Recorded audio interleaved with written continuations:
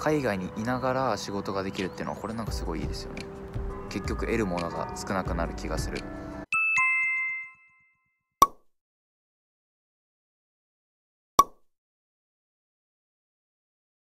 ワーキングホリデーのメリットとデメリットを話します。これから話すことは僕個人の意見じゃなくて僕ワーホリに行ったことある友達に聞いたメリットとデメリットになります。なんでまあ読み上げる形になっちゃいますけどまあ紹介しますね、まあ、じゃあ最初にメリット。名前の通り働いたり遊んだり勉強したり、まあ、農業やってみたり大陸横断とかもできるし何もかも自由だから自分でいろいろ何するかアレンジできる。あとは年齢制限等の条件をクリアすれば誰でもいける。あと英語力のスコアの証明とかは全くいらずに本当誰でもあのワーキングホリデーに来れる。海外で住むが目的の人は最適。思い立ったらすぐ行動ができる。ワーホリビザから会社発行のビザに切り替えてもらえる可能性もある。これなんかすごいいいですよね。基本的にはビザの有効期限内は滞在先国に住める。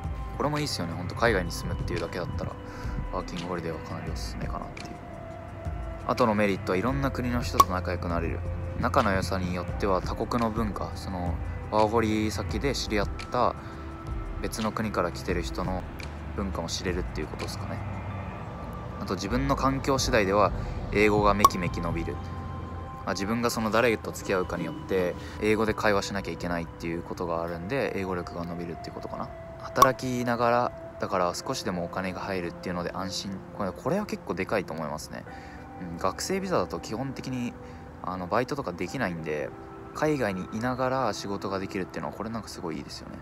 一人で外国で全部やらなきゃいけないから親への感謝の気持ちとともに生活力が鍛えられるっていうのは、うん、これはもうなんか海外生活全てにおいているかなっていうふうに思いますね、うん、じ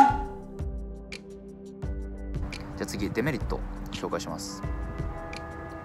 自分でいろいろアレンジできるからこそ目的が曖昧だと普段と大して変わらないような生活にすることはいくらでもできちゃって結局得るものが少なくなる気がする。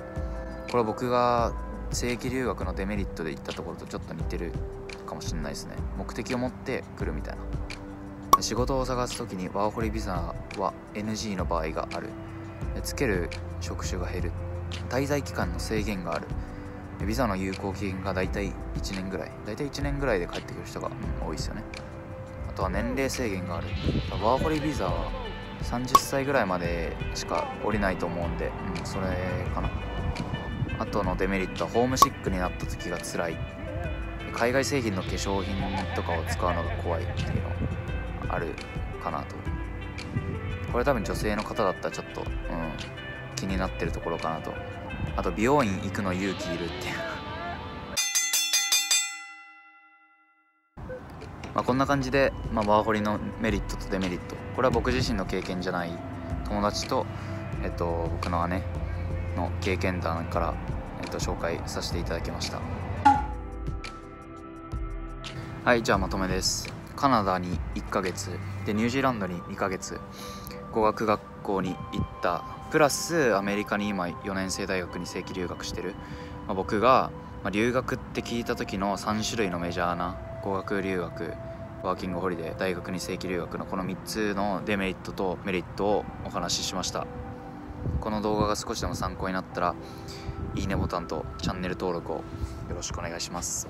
それでは次の動画でお会いしましょう。では。